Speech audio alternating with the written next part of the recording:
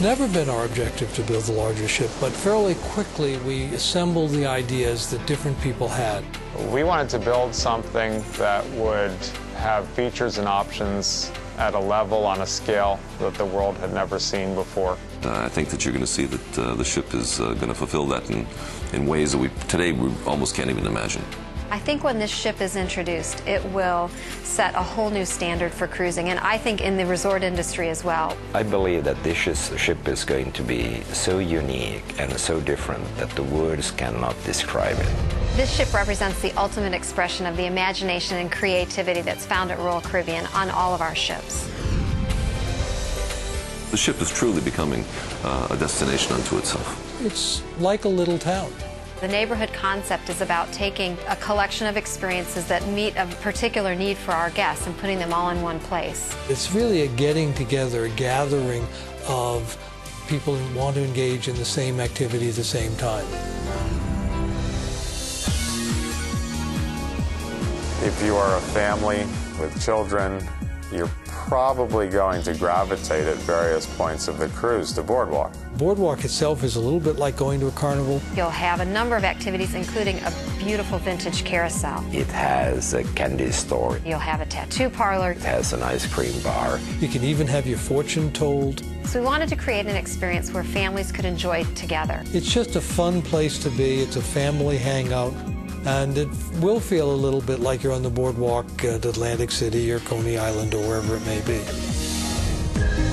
Well, the boardwalk opens up to a, a, wonderful amphitheater area. And it's both a swimming slash pool space in an amphitheater style during the day, and then a performance space at night. You will be able to sit at the end in the evening looking towards this entertainment and, and you will have the Caribbean night uh, behind you as a background.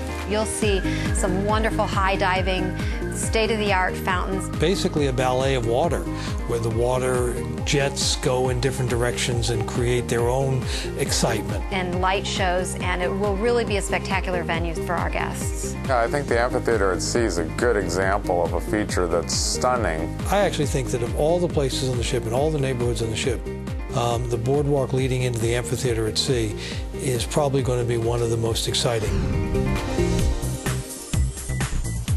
There's a wonderful array of accommodations that we'll be offering on this ship. The loft suites are very unique. This is so far beyond anything that we've ever seen or heard of before in the cruise industry. You walk in and it's just so spacious that you, you just can't believe you can't believe this is in a house, never mind on a ship.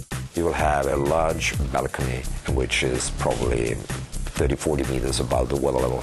Phenomenal, un unobstructed view to the horizon. I think that will be a very special suite experience for the guests. We have a large number of staterooms which are facing to the Central Park or to the boardwalk. The staterooms on boardwalk have a double advantage. They are looking inwards at an active space, a neighborhood, and they are looking aft to sea.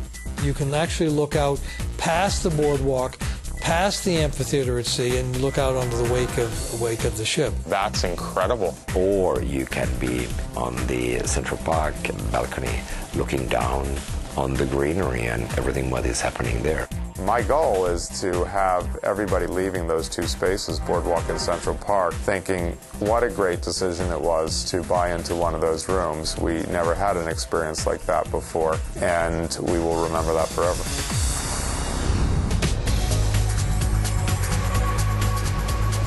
The Royal Promenade is twice the width of our existing Royal Promenade and the length of a football field. That is a huge increase. We just have a great opportunity to create a central place, a promenade where people who want to can come, meet, relax. It will accommodate all of the different types of retail experiences along with a beautiful mezzanine that overlooks the Royal Promenade. I believe that will give a totally different feel.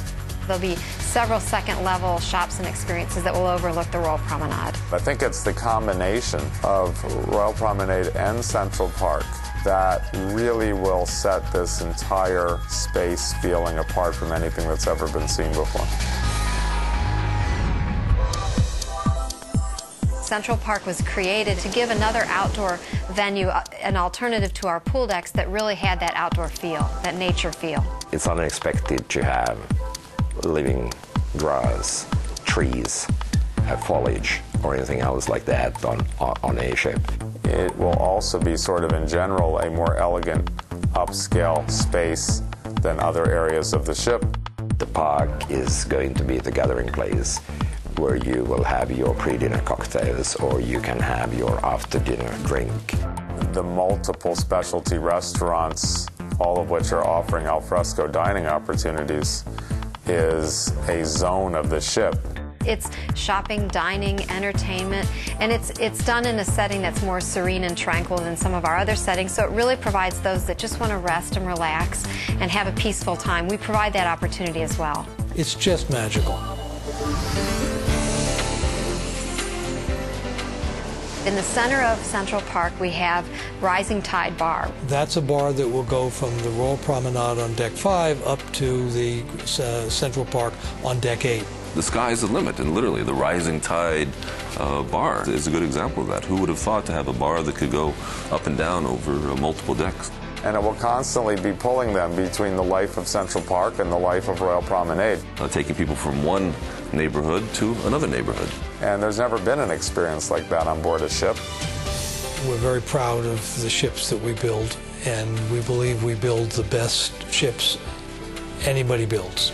But the thing that has always distinguished us for almost 40 years has been the service levels and the commitment that our crew members have shown.